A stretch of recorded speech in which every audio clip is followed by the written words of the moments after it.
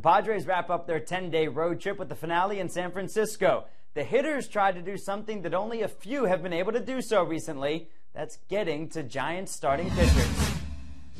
Barry Zito's San Francisco Giants starting pitching staff has allowed just two earned runs in the last 27 and two thirds innings. Top four, he gets Brian Giles swinging and then Adrian Gonzalez. It's pretty, so he stares. And then Kevin Kouzmanoff, it is not the bat's fault. He strikes out the side, throw a single in there in the fourth inning as well. Bottom four, Randy Winn at the plate, Scott Hairston. It's a beautiful day, so might as well lay out for the first out of the inning. Later in the inning, Chris Young gets Pablo Sandoval swinging, one of three Ks on the day for Young. Top five, Luis Rodriguez at the plate and Andres Torres. Pretty, pretty, pretty good.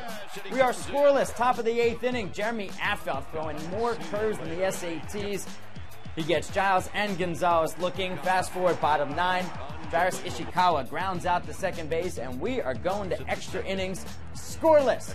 Bottom 10, runners on first and second for Bengie Molina. This coming with two outs, and the pinch hitter Molina always saved the catcher for extra innings, and he brings home Andres Torres on the ground rule double, and that's how the Giants win. A walk-off ground rule double from Bengie Molina. Giants win 1-0. They've won three straight now at home.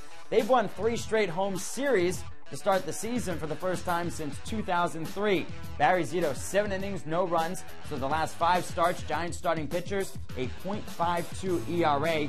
No walks issued by Zito either. First time he's had an outing without a walk since June 25th of 2008.